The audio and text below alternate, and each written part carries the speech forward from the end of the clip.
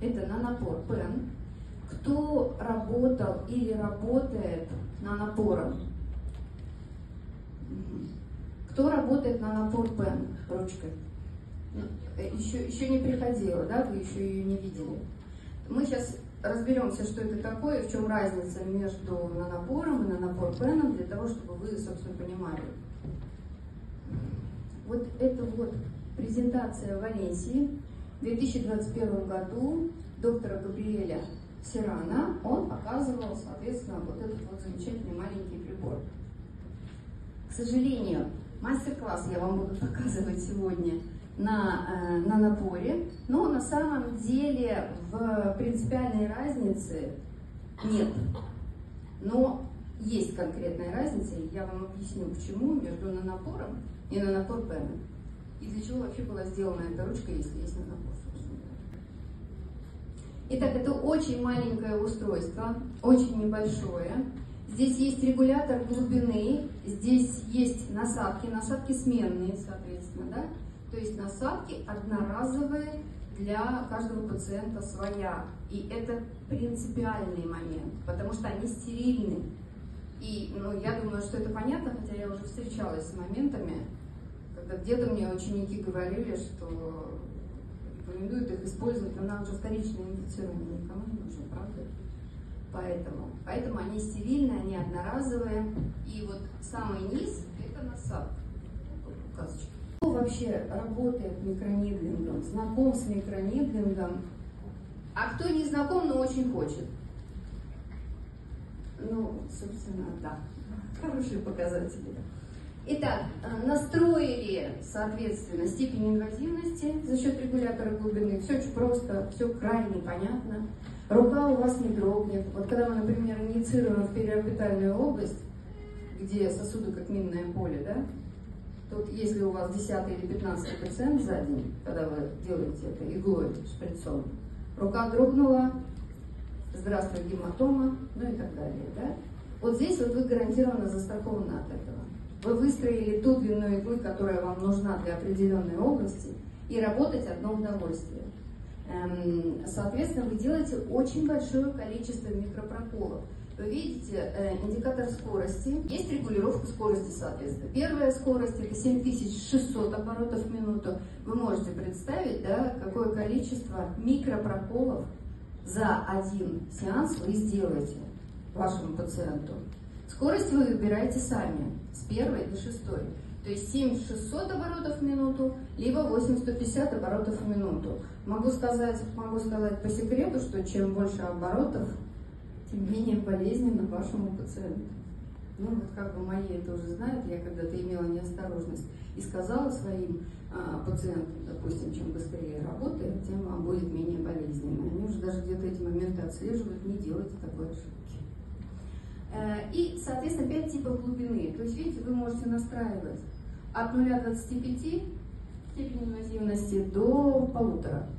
И вы можете а, самостоятельно настраивать. Вот такие вот одноразовые насадки на 5 иголочек, линейная, круглая на 6 игл и абразивная на 130 игл. Вот это вот нано-насадка. Но я могу сказать, что вот на мой взгляд абразивная это неправильное название, потому что нано-насадкой вы можете реально творить чудеса. Она вам дает очень широкие возможности. Но мы почему-то считаем, что раз иголок нет, значит неинтересно для нас. Кто так думает? Нет таких. Кто работает на на насадкой? Мало. Надо больше. Вы ее оцените, поверьте мне, потому что ей можно делать как очень легкие протоколы флеш-уходов, так и достаточно агрессивные, очень интенсивные протоколы работают вот именно как микродермоабразия. Ну а теперь давайте немножко сравним, собственно говоря, в чем разница. Вы знаете, что такое нанопор, вы теперь знаете, что такое нанопор Б. Ну, во-первых, разница в цене. 10 раз.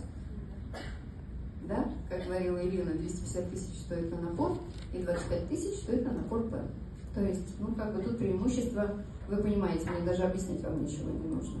Но э, достаточно долго я лично просила, чтобы сделали портативный аппарат, маленький.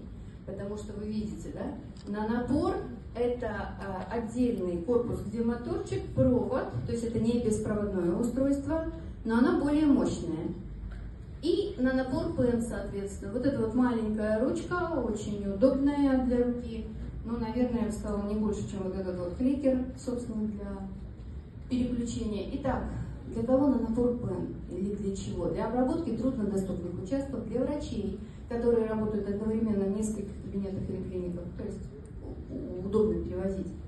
Для небольших клиник с небольшим бюджетом и низким потоком пациентов, ну тут спорный вопрос, вы одной этой маленькой ручкой на самом деле можете обработать очень большое количество пациентов. А, для работы в кабинетах, если нет источника питания поблизости, да, для образования, которые только начинают, не хотят сразу 250 тысяч тратить, хотят попробовать, собственно говоря. Ну и для тех, кто ищет устройство сочетанных протоколов. Потому что мы же с вами можем работать не только чисто фракционной месотерапией, мы с вами можем очень красиво, интересно сочетать. С чем сочетать? С пилингами, с химическими, еще, еще с различными аппаратными методами. Ну вот это вот, вот это вот говорит моя ученица, потому что она уже знает. А, итак, и для кого, собственно, нужен нанопор? Для врачей, которые ищут более современное, мощное, эффективное устройство, если вы верите препаратам Медидерма, если вы верите марке Медидерма, значит это право вашего выбора. Потому что Медидерма не делает недостойных продуктов, я бы так сказала. Да? То есть Медидерма можно верить, потому что опыт работы очень большой.